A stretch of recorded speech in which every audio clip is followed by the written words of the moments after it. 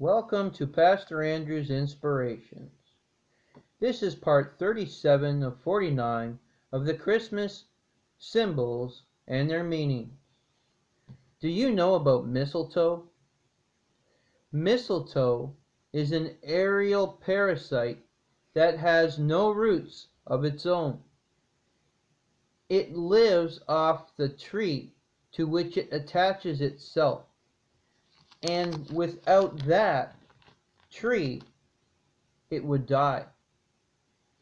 Mistletoe is a Christmas symbol of our love, which derives from and exists only because God loves us. God, who is love, create us in love and caused us to be able to love. Christians are humbled before these words of St. John the Evangelist.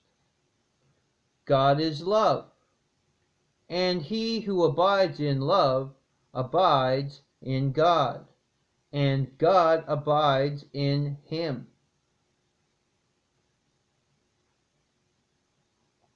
Just as mistletoe may not acknowledge the tree which sustains it, so people may not acknowledge that the love of God sustains them.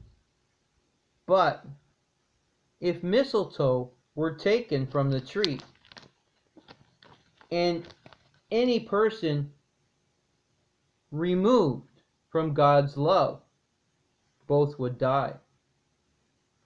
Lord, you are our God and our divine lover. Increase in us our love for you and for our neighbor. Perfect our love and help us to love unselfishly as you love us. Amen.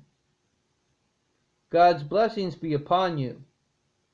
And please stay tuned for the rest of the points on the Christmas symbols and their meaning.